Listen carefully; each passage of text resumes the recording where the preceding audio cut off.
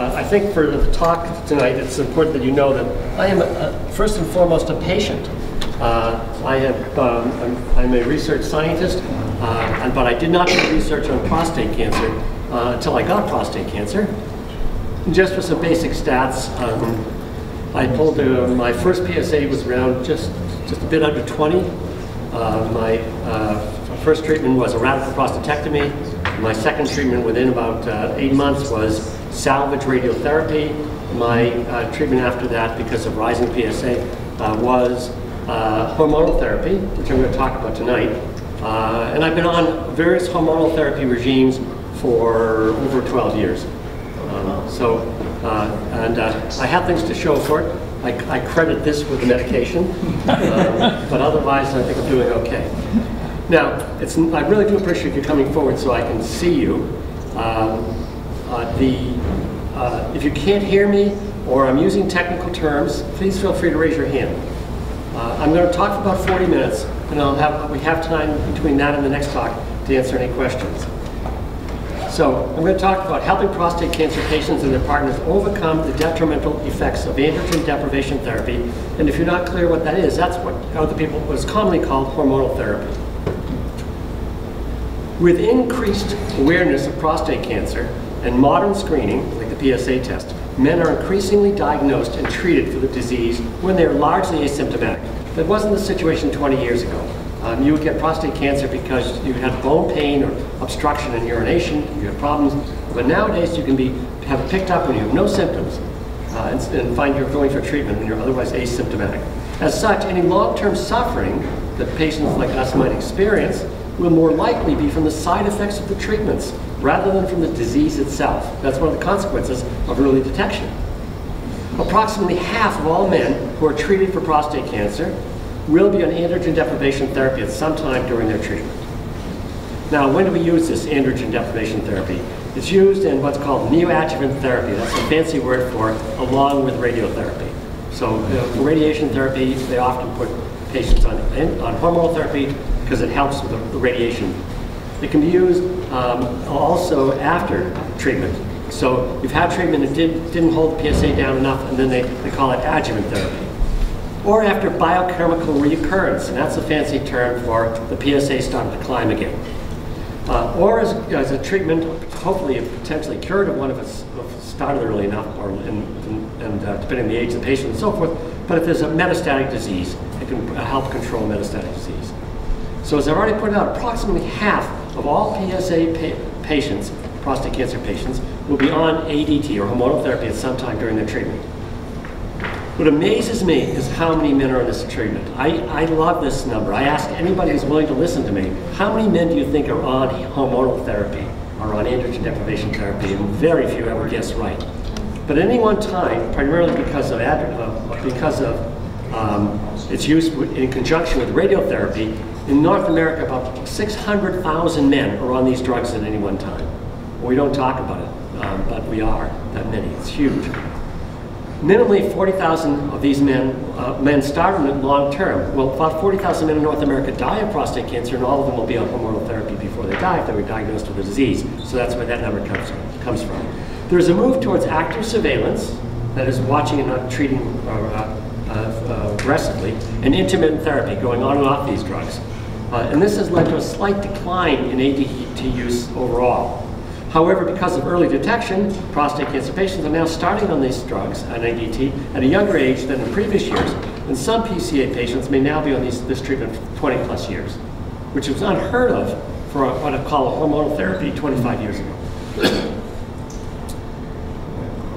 so what are my goals of the talk? So I want to talk about, the, the, uh, I want as goals is you to know the common psychological and social side effects of ADT. I'm not going to go into all the side effects. But we're going to talk about the psychosocial ones uh, when it's used to treat prostate cancer. Another goal is to know of the interventions that can mitigate the psychosocial impact of ADT on prostate cancer patients, including ways to help prostate cancer couples maintain intimacy and a strong bond in the face of reduced libido. So if you don't know that already, uh, these, these drugs reduce one's libido, one's sex drive. So how do you stay strong in, a bind and a, in a partnership when you're on these drugs? I'll cover that mostly in the second talk, but I want to introduce it here. And lastly, the goal is to understand the roles and needs of the partners of prostate cancer patients on ADT and why caring for the partners needs benefits the patients. And that's something that sometimes doesn't get a lot of attention. I think they do a better job here in Calgary than just about anywhere in Canada for being attentive to the, the needs of partners. But I'm going to talk a lot about that uh, this evening. Now, ADT, or androgen deprivation therapy, can come in various forms. One are drugs, which are chemically castrating drugs. They're not going to be permanently castrating if you don't stay on long, but if you stay on long enough, they will be permanently castrating. This is what we, and these, these drugs are fancy names, luteinizing hormone, releasing hormone. The one that is commonly used here, I think, is Eligard. Is that the one you guys know around here? Eligard, is that the one you guys know? Everybody's nodding yes, okay. So that's one of these compounds. These are chemical castrating compounds. They can also do orchiectomies. We hardly do any of them. That's a surgical castration in Canada um, for, uh, for uh, because I guess we, we don't consider it uh, uh, appropriate anymore. But in areas where people don't have a lot of money and can't afford the drugs, chemical, surgical castration is still used. And what they can be used in, in combination with other drugs. Typically, we don't do that in Canada. They do it elsewhere. We don't do it in Canada because it hasn't proven to be that effective. Whether whatever you want to call it, long-term ADT, androgen deprivation, equals castration, although it is typically euphemised to hormonal therapy in discussions with patients. So I'd be curious to know how many of you people were told that you were going on androgen deprivation therapy in those words? Not a single hand? A couple of hands. How many were told you were going on hormonal therapy and was never called anything else but that? Mm-hmm. All right, so you can ask your, your doctor, why didn't they, why did you tell me it was androgen deprivation therapy?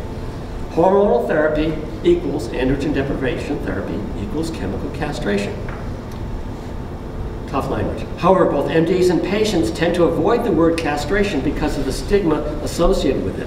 Although the terms above mean the same thing, patients understand them differently.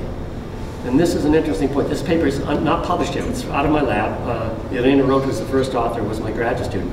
In an online survey of, of men, significantly fewer when they're asked by asked this on a survey to, uh, for various cancer sites. If your doctor suggested uh, chemical castration for you, would you accept it? Uh, if your doctor uh, uh, uh, recommended hormonal therapy, would you accept it? And it turns out significantly more men would accept hormonal therapy than chemical castration, even though it's exactly the same treatment. So that may justify the doctors not telling you what it is, but it will I'll come to a point later that it, we think otherwise. And we, by the way, I'd like to point to a group of people in the back there. There's four people sitting at the table. These are my, my collaborators here from Calgary, uh, who I do some of this research with. And uh, we think that patients may be better off by being informed about these drugs, and that's partially what I'm doing here today. Hormonal therapy in North America, Europe, Australia, uh, and Japan, the more economically uh, well-off countries, ADT is used in the form of a depot injection of these drugs. And I mentioned the major ones there, and here in this province it's largely Eligard used, but they're all the same. The drug side effects are basically, the, the drug is essentially the same drug in terms of how it works in the body. These are expensive drugs with an increasingly long list of side effects that can affect the quality of life and the survival of prostate cancer patients, such as, hold tight guys, here's what you've got to deal with. Erectile dysfunction, in case you didn't get that from earlier treatment. Osteoporosis, a major medical concern. Men who are on these drugs break bones three times more often than men who aren't on these drugs. I'm not going to talk about the treatments for that, but there are, are some. Hot flashes, just like women have when they go through menopause, men on these drugs are going through equivalent to menopause, they get hot flashes. Loss of sexual interest, that's loss of libido. Genital shrinkage. Gynecomastia is breast development, uh, small amount, not everybody experiences, but it can happen. Impaired memory and attention.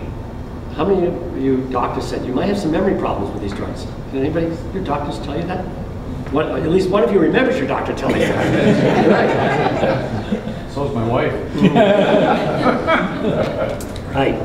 I'll come back to that. Weight gain and body fat. Where I, when I was the first drug I went on was, was called Lupron. It's actually the same drug as Eligard under a different name. One of the doctors who studies the side effects, uh, he, when he, he tells me when, when he goes up to patients, that's how they how you're doing. The patients say, "Well, I'm doing fine except for this." So he actually now calls this a positive Lupron sign. When a patient grabs here, goes like this. It's now you can call it in this province a positive Eligard sign. Loss of muscle mass, anemia there's actually uh, there's a, a slight uh, push towards anemia. Fatigue, a serious problem, a serious side effect, and I'll come back to that. Increased risk of diabetes, cardiovascular disease. Those are the serious medical ones. And again, we're concerned about those. And, if you're on these drugs, you're going to be watching you know, for uh, your, your uh, uh, risk of diabetes and cardiovascular disease. Increased emotionality and tearfulness. Distress, uh, loss as masculinity. Now some of these are in blue and some of them are in black and white. The blue ones are the ones I'm going to be talking about. I'm not attempting to cover the ground that an MD would cover. And by the way, I'm not an MD, if that wasn't clear. I'm a PhD research scientist. I'm not an MD. And I'll make one small aside about that. Um, uh, that, that has certain legal implications. I am, I as an MD, I'm not, as, a, as an MD, I would be qualified to treat sick people. Uh, so I don't have a doctor of medicine, I have a doctor of philosophy. So the way I look at it is I'm only qualified to treat sick philosophies. Um, and I will be in this talk, the next one, uh, giving some philosophical discussion. Just before you jump yes. onto that, could you go back to this slide? Yeah. You may land on it again, but if I had chosen chemical castration rather than, or sorry, if I had chosen physical castration Yeah. rather than chemical castration, how would that list be different? Surprisingly, there is one study only that looks at that, and what everybody assumes is that the surgical castration is going to be far more traumatic. The one study that looked at this found that um, distress, generally, uh, distress, emotional, emotional distress, anxiety distress was actually lower in the patient who had the surgical castration. And what appeared to happen is that they got a chemical castration, they'd have to go back and get new injections of this drug. They were going back to get their PSA checked at their time. They, they, so they were, their anxiety level went up, whereas those with the surgical castration patients had it done with and went on. The side effects are otherwise identical, and that was a very subtle difference, and that was the only one. And it's a small study out of the United States. Further questions? Yeah. Um, Would somebody, would a patient give up or gain something by having had physical castration versus chemical castration? No, all I said is the one small thing is they may be a little less distressed by not having to go back for the injections. I guess I- it's a leading question, it's, it's intermittent uh, hormone therapy. Oh, you're asking about intermittent hormonal therapy? Is there Well, an I advantage? mean, that's the implication. What are you asking? I'm sorry, not clear. Well, if you have physical You can't, you can't have intermittent hormonal therapy if you're going to go for physical castration. But in fact, in one way you can, because if you're feeling fine, you can go back on testosterone. You can get some extra testosterone. Um, so it is possible in that sense. Okay. You will be sterile. You will not be able to have more children on either, either one of them. Psychosocial side effects of ADT. So this is really what I want to concentrate on. The side effects are, have been identified in a particular paper, and, and several of my colleagues at that table and myself were co-author on this paper.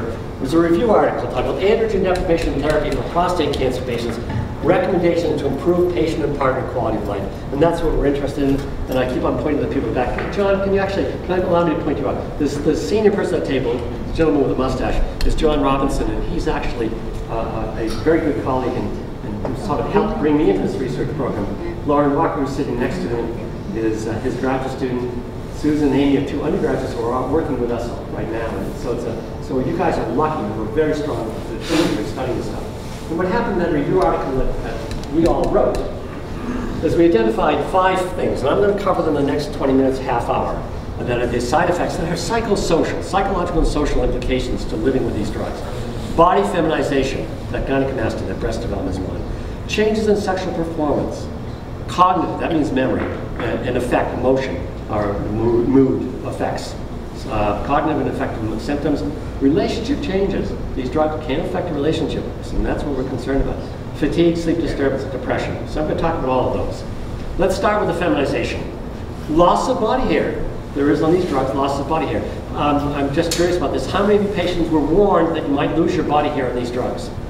Any of you? One of you. How many of you found out about it afterwards and, weren't, and didn't know about it? How many of you felt that they thought the doctor might have told you about it, but didn't? Yes? You, you, don't care.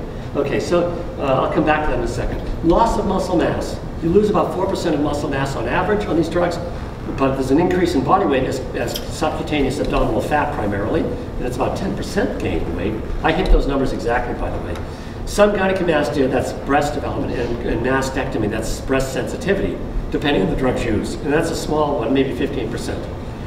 What is unstudied, which I think is fascinating, is there's probably changes in body odor because we know that testosterone you know, produces males, well, male's odor. And that is unstudied. I'm hoping with colleagues in England that we can actually start that study, and I found two people there who would like to do it. Um, we're just starting to talk about doing that. Now, the reason I've mentioned it here, it sounds a little weird to talk about body odor, but if, if we are actually, and we are, a species that does still use olfactory communication, even if it's subconscious, then this could be affecting our relationships with other people. So it is worth knowing whether it's happening or not. It has uninvestigated. Uh, on the issue of alopecia, it means hair loss in the body, and gynecomastia, breast development. Those are sort of feminizing features. Patients vary greatly in how they interpret such physical side effects. Indeed, it is often assumed that hair loss, alopecia, is a trivial matter on a little consequence, but that breast growth, gynecomastia, may be devastating. I think that's pretty well assumed, such that the doctors don't even tell you they're going to lose body hair, but uh, patients are. But I've heard uh, telling patients that if they're going to go on these drugs, they should get their breasts irradiated so they don't grow up beforehand. And I've seen both sides of it. I've seen patients who consider the breast development an absolute trivia. I actually, I, the doctors debate whether they want to tell patients, and just starting to explore this, tell patients that they might lose their body hair. But I did see on an internet chat list a patient was really ready to sue his doctor for malpractice for not having told him about that. So we really don't know what patients should be told. Uh, and it's clear that not all patients need the information or want the information. We even don't know how to, which, how to tell which patients need and want the information and which don't. All right, patients are often more bothered by the physical discomfort of nipple, sensitivity, that's best, uh, mastalgia, than in the cosmetic issue of gynecomastia. And as I pointed out, I just said this, it, I'll say it again. I've no, I know of no validated questionnaires. There's no simple questionnaire you give the patient, you know, how many side effects do you wish to be told about? We don't have such an instrument. A survey instrument can be used to predict who will find such bodily changes most or least distressing. Nobody's done a study ahead of time and saying, here's some of these side effects. Which ones do you think will be bothersome? And then ask them afterwards, which one did you find bothersome? We haven't done that study. Moving on to the sexual side effects. With long-term ADT use, there is testicular and penile shrinkage, impotence, that's erectile dysfunction in over 80% of men, and reduced libido, that is loss of sex drive.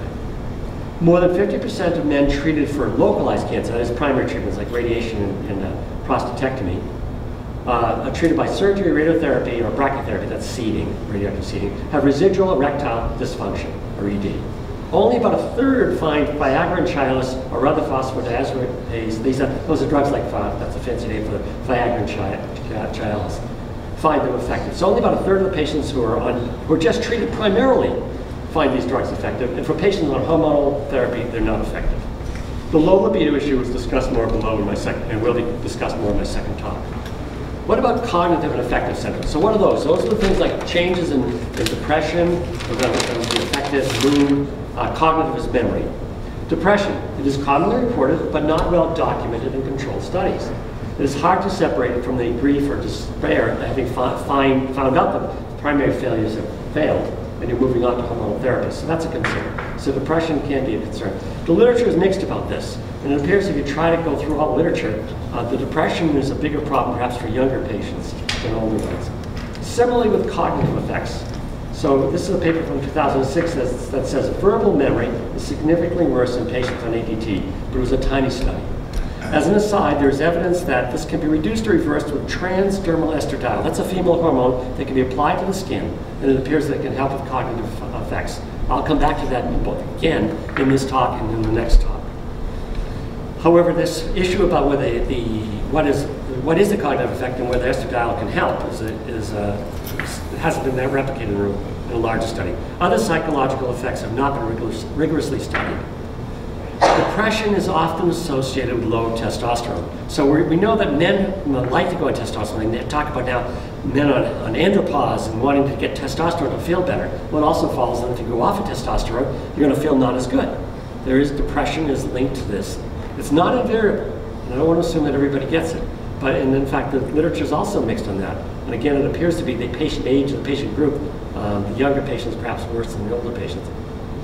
In cancer patients, depression may be linked as well to anxiety associated with the disease progression. So again, uh, you, you, we, we, need sort of before and after studies, and there aren't a lot of them done. I don't know how many urologists, when they put patients on these drugs, actually do a depression analysis and get you know pro, pro, professionals psychological workup on their patients before they go on these drugs. So we don't have a lot of data. On a paper, though, from 2008, DiBlasio et al., these, those are the research scientists, reported a threefold increase between rates of pre-ADT psychiatric illness and development of de novo, that means new illness, after starting an ADT. So if 9% of the population have these problems, 29% before, 29% are going to have the problems with these drugs afterwards. Most common, commonly depression was the psychological problem reported, and that was in about 56% of the patients. So about half the patients are going to feel depressed on these drugs by themselves. Significant changes in mood, in self-rated mood, such as increased depression, tension, anxiety, fatigue, and irritability were evident during ADT treatment. That's from this paper cited at the bottom. That's a very good research group out of Seattle, um, and, and, I hope to be working with her. We, she's, we're just starting to talk about that right now, because I'm actually based in Vancouver.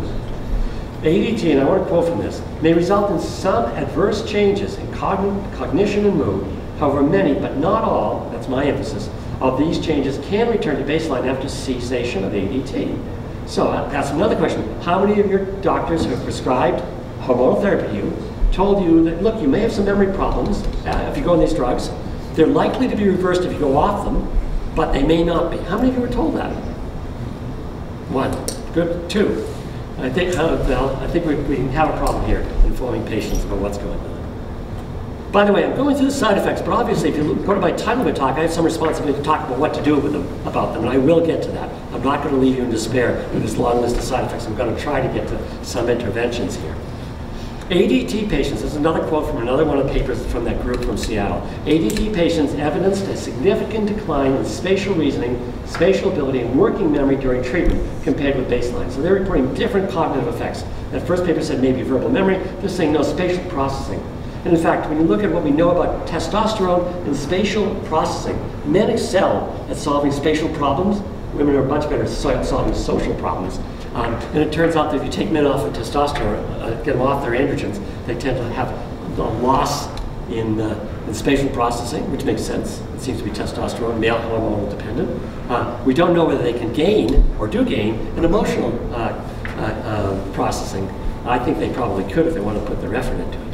Both physicians and patients, plus their partners, should be aware of how this may manifest itself in daily life. So how does, how does this processing reflect, reflect itself? Well, if you're thinking about solving computers games, that may be, or you know, trying to picture how you put the carburetor back on a car, that's maybe what you're thinking about. But in fact, in daily life, when I started these drugs, I found a very realistic example. I've got a lot of papers on my desk, the phone rings, I put another paper on, on top of the paper, and all of a sudden I just lost my work.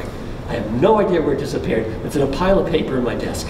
That's a real life thing. Another one is that you, um, there's been problems reported in what's called working memory. Um, and what does that mean? Well, it means you, you come to the house, you put your car keys down, uh, you head to the kitchen, where you came to the front door, you head to the kitchen, then all of a sudden you realize you put your car keys down, so you think of, now where did I put my car keys? Uh, that would be a spatial problem. You walk in the living room, but you can't remember why you walked into the living room. That would be a working memory problem. And both of those things manifest themselves in daily life, and I, I remember them distinctly experiencing exactly those problems. Bottom line of cognitive effects. Between 47 and 69% of men on ADT experience a decline in at least one cognitive area, one part of memory. Most commonly in visual spatial ability and executive function. Working memory executive function is what I was just talking about, short-term memory. Uh, ADT is linked to subtle and significant cognitive declines in men with prostate cancer. So again, there's quote marks, quote marks around that because I'm quoting this large review article from a major cancer journal from 2008. The authors believe, last quote on this page, the authors believe that clinicians should inform and monitor patients for the possible side effects of treatment. So this is saying, this out of this journal, Cancer, big, very famous cancer journal, that the doctors should be warning, warning and monitoring patients about these cognitive effects. How about emotionality? Changes in emotionality have been repeatedly reported for androgen-deprived prostate cancer patients, as well as male to female transsexuals, an odd population, but they go on the same drugs when you think about it. I mean, they're getting free of their testosterone. Uh, and what is the report is most, most conspicuous, conspicuously is an increase in tearfulness. And in our society, women may cry, saying they're sympathetic, but real men don't cry. We're not supposed to. That's our culture, right? Men don't cry, women do.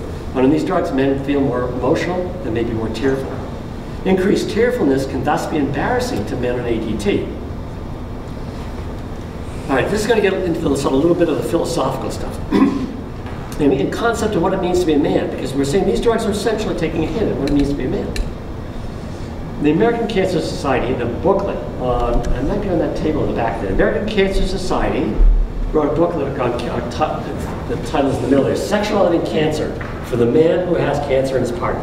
And it's updated and available online. I just quoted from the 2009 edition, but it's still the same quote as there. Men who no longer have their testicles or who are on hormone therapy drugs often feel like less of a man. This is a myth. Now, just to stop there as an aside, this is a floating pronoun, professor. This is a floating pronoun, and it's impossible grammatically to figure out what it refers specifically back to for anybody who's a teacher here in that sentence. So it's ambiguous right there.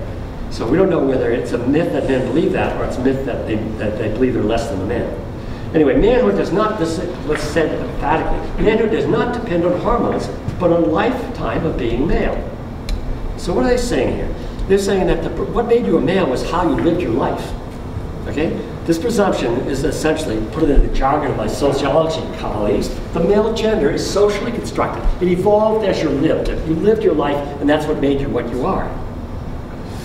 Uh, and, and that once you're that, it's invariable. That as you became a man because how you lived your life, um, but you're, you're still a man, it's not going to change. There's a problem with this. However, and now actually before I get onto this, if the problem with that is that if you had nocturnal erections, as most men do, most of your life, and you no longer have them, okay, then maybe you have lost something. Maybe things have changed. However, ADT often challenges men's core identity, leaving many feeling like they are on the border of masculinity. That is obviously sort of still a male, but something's changed. They're not fully masculine nor feminine, but in an undefined, and this is a fancy word, in a liminal gendered space. Liminal means on the edge of. And actually, one of the best papers on this is a small study out of Israel um, from these two authors with this bizarrely complicated title. Liminality is a biographical disruption, unclassifiability following hormonal therapy for advanced prostate cancer. So what they did is they wrote a paper that only a sociologist or social, cultural, genetic, gender theorist might understand, and no urologist ever would. But actually out of Canada, John Anderson um, at the UBC, he wrote a similar paper titled Embodying Masculinity, Androgen Deprivation. And all of them say that these drugs take a hit in a man's sense, man's sense of masculinity. And here's a quote from one of the Navon and Morag papers. Whenever I saw my body, I wondered, who am I? A woman, a man? It's a very confusing situation. I believe I'm neither one thing nor the other. That's the only way I can think about myself without becoming confused. To tell the truth, at first, every time I looked at myself in the mirror, I became depressed. Similar quotes from prostate cancer patients' reactions to ADT can be found in six qualitative studies published by research groups in the last eight years from Israel, Australia, England, USA, and Canada. And I was a co-author on the, on the Canadian studies. So what it says here, I mean, they're saying, hey, testosterone made by your, your testicles doesn't make you a man. That's what the Cancer Society of the United States is saying. But this picture says, hey, I'm a man. I'm an alpha man because I'm taking testosterone. And you think about it, the guys in the gyms who take uh, anabolic steroids, those are androgens. Okay, they want to be hypermen. This makes them the hypermen. So if you go off of them, then you're not going to feel less of a man. I want to move on to what, what I think is really important. And I'm very pleased that so many of the partners are here. And many of you may not have partners. I'm sorry that they're not here, and I believe that you'll be able to access. I encourage you, if you have partners, to make to know that the video will be available to them. I'm looking to the back. Video will be available to them. I think, uh, uh, and you might want to make this available to your partner if she, if you have one and the part, your partner's not here. Okay. Faced with these such changes in lives, many men, one, withdraw their affection from and physical contact with their partners. You can't perform sexually, you have a social script. We all do if we are partnered. After enough time, we know that this signals to our partner interest in some sex or something. It may not, you know, uh, affection, whatever. Yeah, she may cook that meal you like, uh, you may bring home the flowers that she likes, whatever. But there are signals that we have.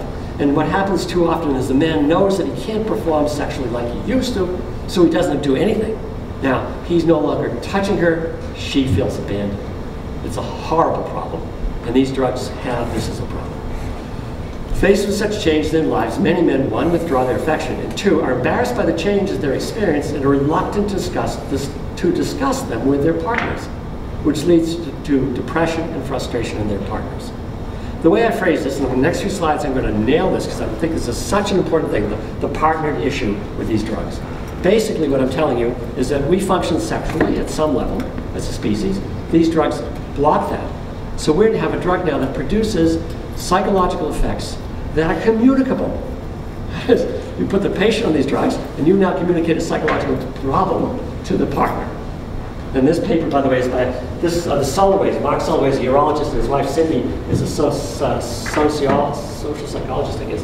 And uh, it's titled "Sexual, Psychological, and Dyadic." It means couples qualities of the prostate cancer couples. And these, these, this information's on that, but it's been reported in several other papers as well.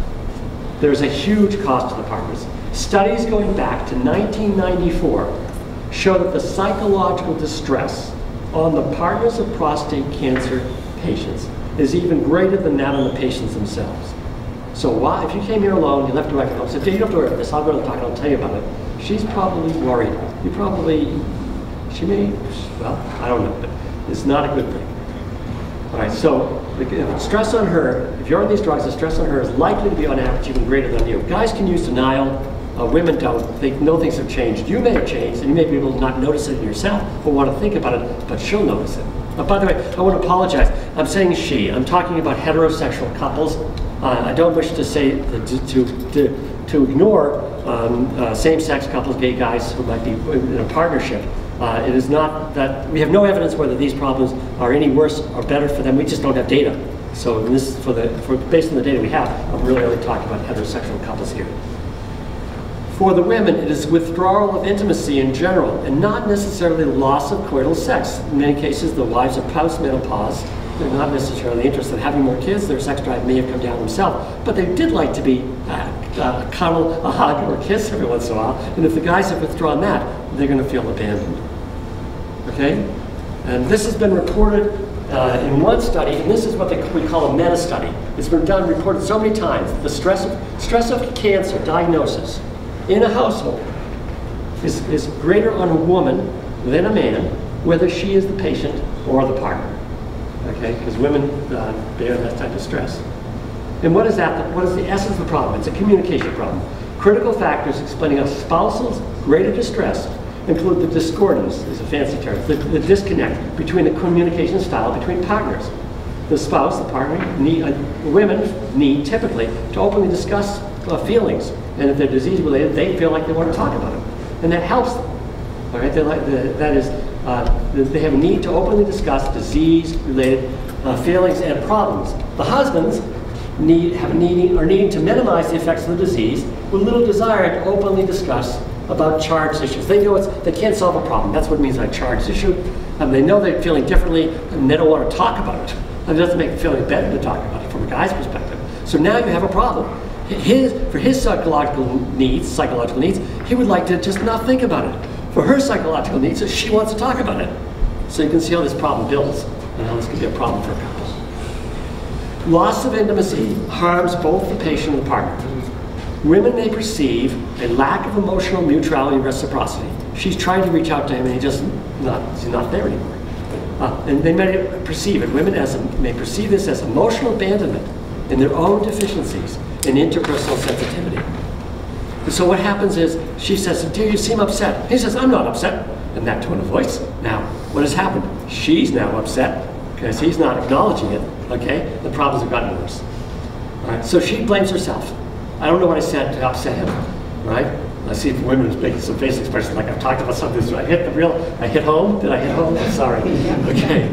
Um, all right, which leads to a feeling that she's somehow uh, isolated and socially inadequate, and thus she ends up with poor mental health. Now, if I have one sentence in the whole 45 minutes or so that I'm talking to you, it's here. I'll repeat in the next slide.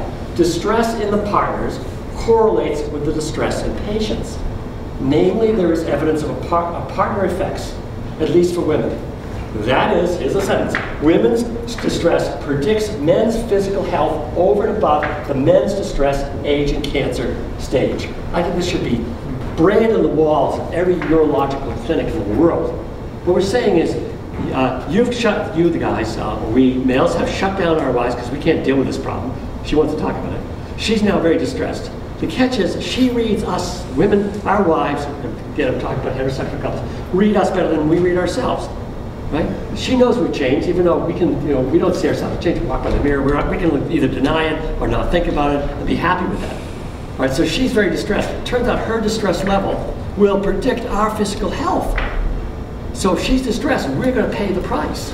This is a terrible situation, we should be really attentive to it. That's what I just said is so important that I'll say it again. There is a partner's effect in that the distress in the partners of a prostate cancer patient correlates the stress in the patient. For heterosexual couples, it was in the last slide, women's distress predicts men's physical health over and above the man's, men's distress, age, or cancer stage. That is, if she's, if she's uh, unhappy, you are in trouble.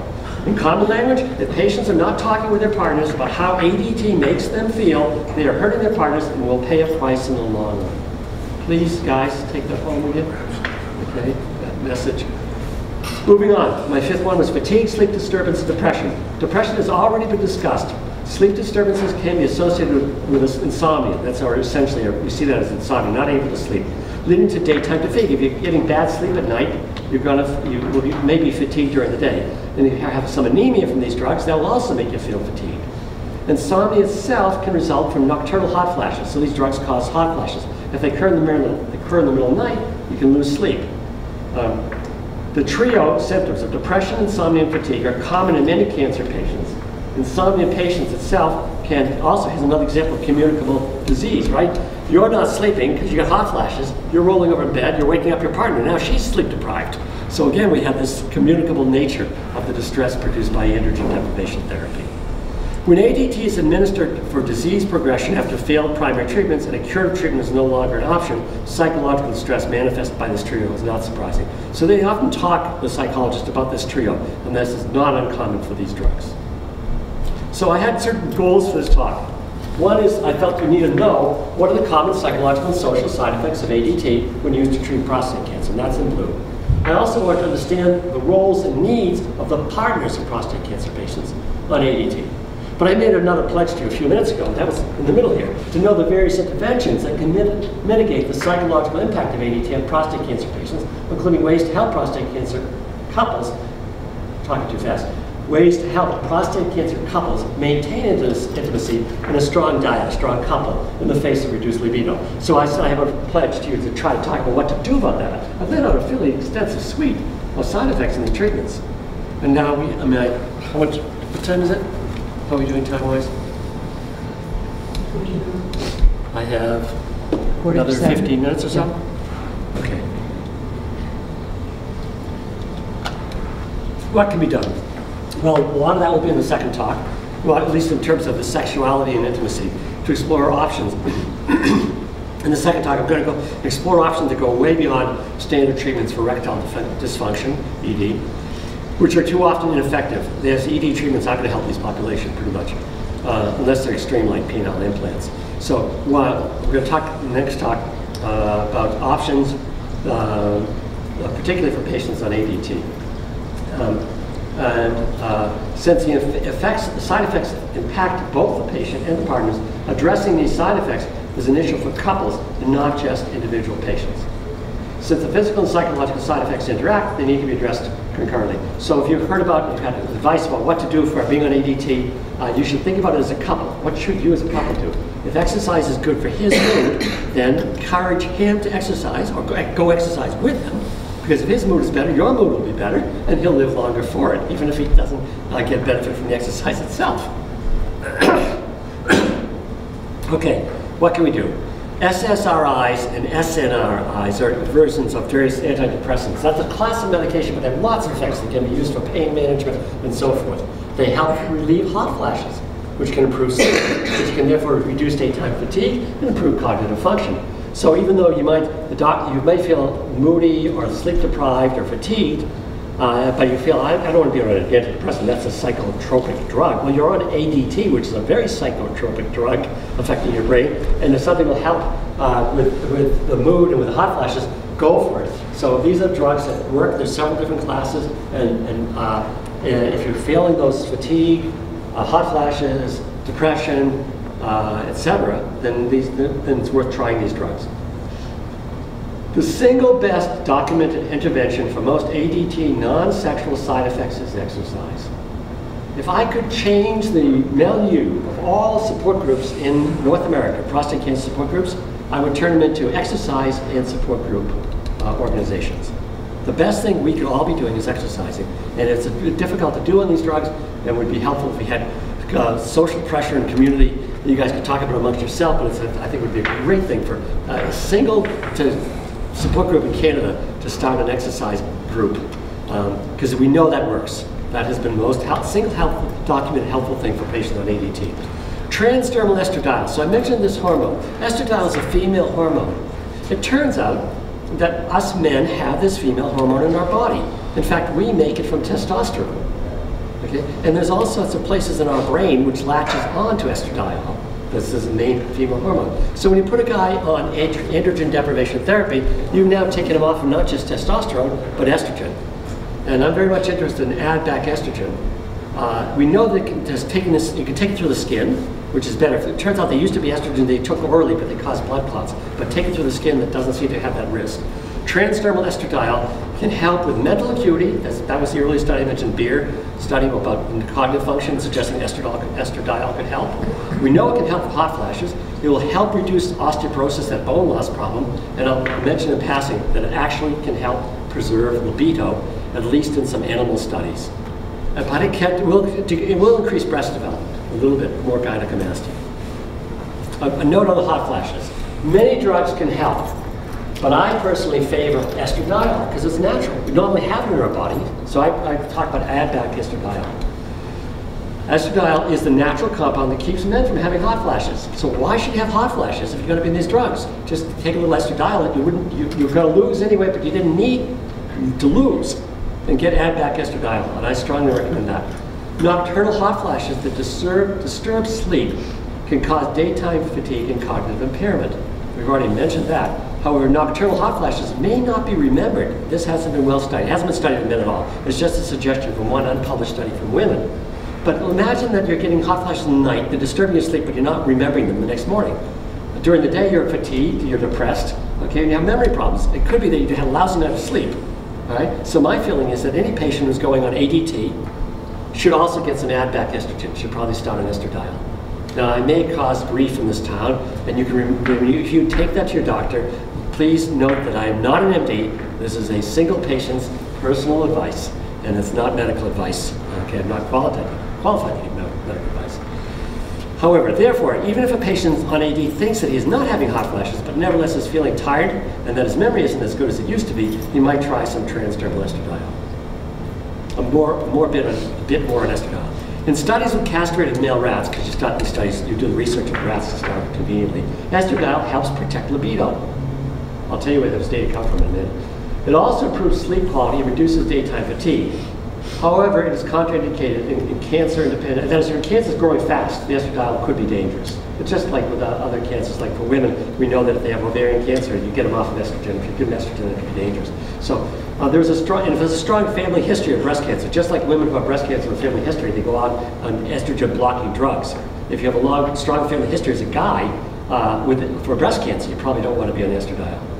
Now, in fact, uh, the paper that shows that can protect libido, we did a review article. This is my graduate student. This is me just early this year in the Journal of Urology published a paper, Role of Estrogen in Normal Male Function, which was a review article suggesting that estradiol can actually help libido. And in my lab, my student Eric, just last month, got data confirming this for rats. We can actually preserve their libido by giving them add back estrogen after we castrate them. Furthermore, last month, it's actually it's got a 2012 date, but it came out the last month. Estradiol treatment modulates spontaneous sleep and sleep recovery after sleep deprivation in castrated rats. What that says is, we, if we disturb their sleep and we give them some estrogen, they will actually recover from their sleep, okay, and have less daytime fatigue with estradiol. For me, that is ready to go to clinical trials. Last week I talked with the top head of urology out at Vancouver, and our goal is to start a clinical trial with actual patients where we put them on ADT, on LHRH, agonist drugs like Eligard, and give them a little bit of transdermal estradiol right from the start and see if it can help relieve the symptoms of these drugs. So I'm actually involved right in these estradiol studies. But I'm also biased. I'm here as a patient, so I've gotta tell you, I'm on estradiol. I looked at the data, I looked at the literature, and I said, the heck, I don't want to be on those LHRH agonist drugs. So for the last 12 years, I've been on estradiol. Now, you can judge the following. I'll let you do this. I'm making this up as I go. I have the side effects of those the drugs. I don't think I'm too cognitively impaired. Uh, I don't, do, do I depress you as being cognitively impaired? Perhaps. But I also have got gynecomastia. This stuff is real. Okay, so I had to make a a strategic decision. Okay, I could not be on estradiol, which meant that I wouldn't have any breasts, but my, I was on Lupron for a while, on Eligard for a while, and I couldn't think. And I thought about it. I said, if I have a choice between having no brains and no breasts, or having brains and breasts, I decided to go with brains and breasts. So I just went off of the Eligard and went on to estradiol. So I just take estradiol. I take it at a high dose and it's good enough to keep my testosterone down. A note on exercise. Nine studies have been published on exercise and intervention for managing ADT side effects. Collectively, they show, this is what you get from exercising, more muscle strength and endurance, a positive benefit. Cardiovascular risks, the studies are mixed on the effects. Um, weight control, no benefit, but I just saw a person told me they have a papers coming out showing that they did get some weight control on the, with exercise for patients on ADT. They had like seven patients on it. And fatigue and depression, positive benefit. Patients on ADT should exercise even if it doesn't help them control their weight. Patients, um, you should know and understand the benefits of exercise and force yourself to do it. I don't like to exercise. And I don't, I don't like going to the gym alone. My wife doesn't wish to go to the gym with me. I go alone. But you guys can, can get together. If you want to do something to help yourself in this room or an ADT, okay, within the lim limits of what you can do, talk to the guy next to you and say, let's, we're going to work on it. We'll get to the gym if you're not, if you're not doing that already. okay, so to get to the bottom line, summarize my punchlines of the talk. So what helps patients most dealing with the psychological and social side effects of these drugs? One, I think, knowing the side effects. That's a bias. We're studying, we're studying that right now. John, myself, and the students back there. Is do our patients better off to know about the side effects or not? That is a, an actual research question. Possibly some add back estradiol, because you don't need to take the guys off estrogen when you put them on ADT, but we do. So I say possibly some estrogen, uh, add back estradiol, but it, not oral. Either take it, take it to the skin as a gel or patch. Possibly some antidepressant medication Communicating. Open, honest, full discussion. If you go home and you, and you cry, look, it really is that bad, and you talk about it, you may feel awkward having to do that saying, talking to the guys, but God, you'll be relieving your partner for your being open and honest about it, because she sees it, even if you don't. All right? Communicating, open, honest, full discussion with your partner about how ADT makes you feel to help reduce her distress This is my point four, because in the long run, if her distress is down, your survival and health will be better for it in the long run. And lastly, with the exclamation point, exercise. All right, now we need to know more about this. So, one, two, three, one, two, three, four of the five authors on this paper, which just got accepted in press, are in the room right here, and, and Lauren's at the back there. And this paper is titled simply Patients and Partners Lack Knowledge of ADT and uh, Deprivation. So through this talk, I've said, how many of you were told this by your doctors? And a few hands over here went up. Okay, we feel, um, we've shown, I shouldn't say we, we've shown that patients' knowledge about these drugs is, is very low. We don't know whether that is because um, the patients are so shocked when the doctors tell them they're going to go on it that they're not remembering what they heard. Or when the pharmacist gave them the, the uh, sheet describing the, uh, side effects. We found that those sheets don't describe most of the side, side effects, by the way. Um, so this paper shows that patients and partners are not well informed at all about ADT side effects and what to do about them. Of course, don't know that the following. Is the problem that the healthcare providers aren't telling the patients, or that the patients and their partners are not assimilating the information? So we now have gone back. Uh, John's uh, uh, overseeing this project, and and uh, Susan Tran there, raise your hands, let's the crowd, is uh, actually doing this for her honors project here at the University of Calgary. And she's going out and asking this, the doctors, what are you telling the patients about ADT? This is a project that's running now in Alberta, uh, Ontario, questionnaires are going out uh, in uh, Nova Scotia and they'll also be going out in, in uh, British Columbia. It's now under investigation. What about sex itself after ADT? Yes, it is possible. But again, it is not clear that the healthcare system is fully informing prostate cancer patients about all the options in this regard. So, I invite you all to stay for my next talk. We're going to talk about rediscovering sex after prostate treatments. That is the next talk coming up. Um, and I will be discussing uh, that aspect, the specifically the sexual aspects of the next talk. Thank you very much, and I'm open to any questions you might have. One back there, yes. Um, Dr. Wassersug, there are a number of oncologists in North America, most of them in the United States, that are at the cutting edge. who work very, very hard at taking patients that have uh, prostate cancer uh, through ADT therapy to a level where the, uh, the PSA is close to undetectable, let's say less than 0.01. And having achieved that level for a period of, depending on which oncologist you're talking about, one year, two years, three years, we'll stop the ADT.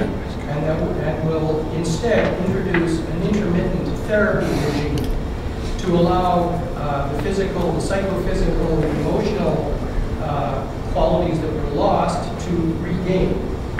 Any comments about that? Yeah, I actually, I, I object to something you said.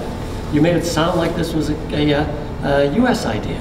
No, Uh, no, Because actually, it's, uh, it is uh, my new colleague out at UBC, Larry Goldenberg, who's probably been the major promoter of intermittent hormonal therapy. Uh, So it's, a, it's actually, we get as much credit as Americans do. And I think it's a very reasonable program. I didn't mention it at all, I'm talking about when you're on the, what are you gonna do when you're on the drugs? And of course, one of the things to do is to get off the drugs. So intermittent hormonal therapy, if your PSA is low enough, and if it is controlled reasonably well, is, is, has been very recently shown to be just as good as staying on it long term. The question I get then is, well, when I come off of estradiol, and I, my answer is no, I'm doing so well, why bother? I mean, I, I, so, uh, so that's, so I'm in a different game than that. But in terms of the LHRH agonists, if you can't convince your doctor to, uh, to not try them, and you can keep your PSA down with it for a couple of years, and then there's no harm in coming off at least according to the most recent data. And that's really recent data showing that. Um, so I, I it at this time. And the other comment is that um, those doctors that promote that, and this is both Canadian and American doctors, um, say that as long as you're not on ADT for too long, and I think three years is kind of the absolute maximum, I'm at a point where three years right they say that you will recover many of the physical functions that you've lost. Yes, you will, but one year continuous ADT will, uh, bra- will depress the Sertoli cells which produce sperm. So your sperm count will not recover if you're on it for more than a year, quite to what it was. It will recover, but not completely. Uh, and, but the, the simplest way of looking at it is the longer you are on them, the slower, the longer it will take to recover. That's one thing. Uh, the other part about it is that what we don't have in, in this, uh, this new promotion of intermittent hormonal therapy is we don't really know what are the best cutoff points. So the doctors haven't reached an agreement to say, well, when, when you're, some of them will say when your PSA reaches 20, uh, that's when you should do it. And others will say when your PSA reaches two, uh, you know, it was undetectable, we'll put you, we'll put you back on it. We really don't know uh, that. We, and it'll take, unfortunately, for that type of study, it's going to take decades to collect enough data to know exactly when to go on and when to go off. Okay? Other questions? Uh, if not, we could take a break. And uh, how much time do we have before the second talk? I'm curious uh, about your sense of the difference between the Canadian system of delivery of services, uh, oncology services, versus, for example, the US system, in the sense of your study where you've uh, implied that there's inadequate information being provided by oncologists relative to ADT. My impression is that we have a relatively concentrated delivery system here, certainly in, in Calgary, of the professionals. Concentration of information about the drugs? No, concentration of the individual uh, oncologists. We, we cluster them, and, and uh, the Eligard is really only available through the, the socialized practices that we have here. So why should there be such a information gap? I can understand it in the US system where there's a much more uh, dispersed delivery of services. Keep in mind, we, we really don't know why there's an information gap. It could be simply that the patients are so shell shocked when they're told about it, they're not remembering it. It could be the doctors aren't telling them. Uh, it could be that the side effects of the drugs, once they're on it, they were told it and they remembered until they went on the Right. drugs. the But drugs. there, I mean, so we sense know. that there might be a difference Yeah, in the so I cannot between these two systems? I cannot speak to that because I have not been a patient in the- any other system than in Canada. Um, the closest I've come is those, those papers where we're actually looking at what estradiol does. Um, the first paper is co-authored with a guy named Paul Schellhammer. Paul Schellhammer, I mean, I, I work at an odd level. I'm a patient, right? Uh, but I figured I got to find somebody who's interested in this stuff. Paul Schellhammer was the past president of the American Urological Association. He's published probably 100 papers on prostate cancer because he's a research scientist and an MD and a urologist. Uh, and he's a prostate cancer patient himself. And he uses estradiol, so we teamed up on this. So I can speak from an N of one in the United States. And there's one urologist, one urologist who happens to think that, that this stuff should be getting out to, to the other doctors, and he's going to co-author with them. But other than that, I really don't know to what extent. Uh, and in fact, I don't even know what's right. There are certain patients who don't want to know and don't need to know, and there are some patients who really do need to know, and we probably are not giving them nearly enough information. And the same thing can be said about their partners. There are partners who, who are happy to be left out of it, and there's partners who want to make sure that they know more about these drugs than their doctors ever knew. And some, we, we got to figure out a way we ultimately need a way of trying to offer a questionnaire as you go in to see your doctor, which helps somehow helps us decide who needs the, a huge information dump and who doesn't. And I don't mean just simply who wants it and who doesn't, but I mean who will profit from it and who will be more distressed out from it. We want to know what would be helpful in terms of presenting information and what is the most helpful amount of information to present to individuals.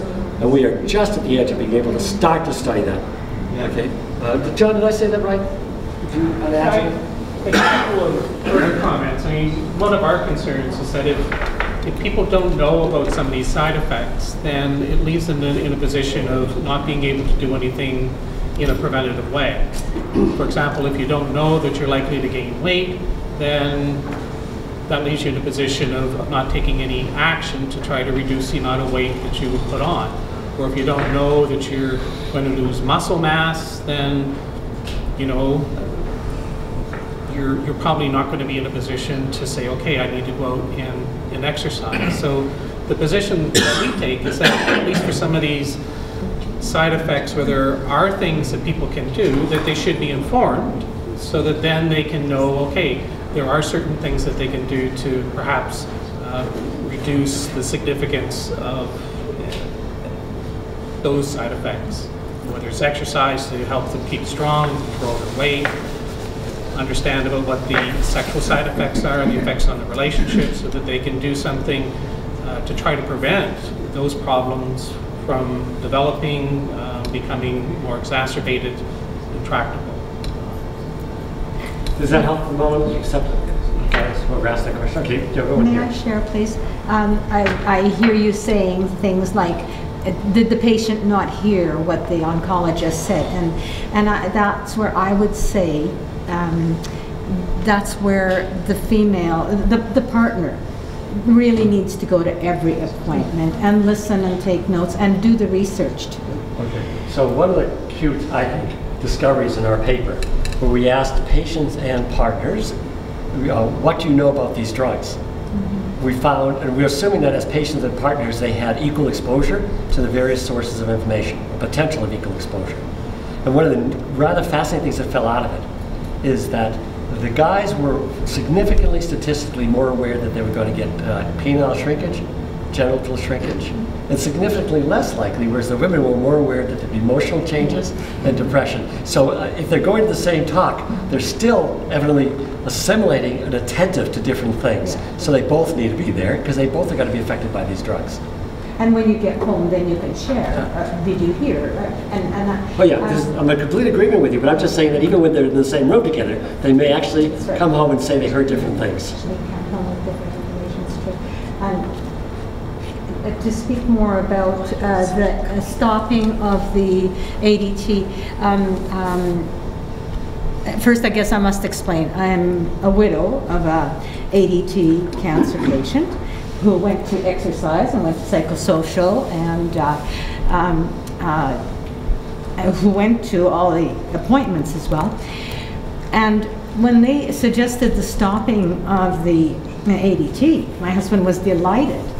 And uh, the unfortunate thing is that uh, once the cancer reoccurred, it galloped. It, it was a case of uh, there being no uh, help, even with the uh, repeated or the readmission or e- readministration of the ADT. So I think we all still are in a very big puzzle, and I'm so glad that you're continuing to speak about this. Thank you. Uh, Richard, another thing that I think is helpful for people to remember, it was, I think, on your first slide, is how the face of prostate cancer has, has changed. That historically, uh, androgen deprivation therapy was used when men's disease was very advanced, uh, when the man was, was very old. And in many cases, the man only lived for a couple of years while on this treatment. Now, with prostate cancer being diagnosed, men in their 40s and in their 50s being on these drugs for in excess of 10 years, it's only now that we're beginning to understand many of these side effects that Richard pointed out. Um, when we did that exercise study that your husband was involved with, we started to do bone mineral densities routinely. And everybody was so surprised to find out how commonly men have um, osteoporosis. And it changed the practice within the Tom Baker Cancer Center, where now men's bone mineral density is being routinely monitored. That's only changed within, what, the last, how many years ago was your husband in that study? Um, It it began eight years ago. Yeah, so that's within the last 10, 10 years. So our understanding about the effects of androgen deprivation therapy, you know, as you saw, many of the papers that Richard quoted were just within the last, you know, five or six years. So this is a mm-hmm. field that's, that's very rapidly changing and physicians are scrambling to, you know, to try to understand what are the effects of these drugs on men, on their mm-hmm. relationships, what can be done to, to help people live as well as they possibly can. So my suggestion now is to your young students or, or, or practitioners is to develop a questionnaire that follows uh, the, the medical visit. What did you understand from today's discussion? And that would be your follow-up at home. And also, um, you know, continuing to go to um, peer support groups. They can be, they can be helpful. Uh, I think what you guys have in uh, in Calgary here sounds like to me one of the best support groups I've seen uh, in terms of size, and and, uh, I'm really, really impressed with what you offer here. I'd like to do one thing though. Uh, Being sensitive, I think I tried to be sensitive to the partners. I want to also point out that as a prostate cancer patient, the sensitive thing to do is have uh, regular uh, breaks to hit the men's room because uh, some of these drugs and treatments have urinary side effects. So I'd like to suggest that we break up formally and, we, and I'd be available here uh, to uh, answer any questions on a more individual basis until the next talk. Uh, I want to thank you again for coming to the talk.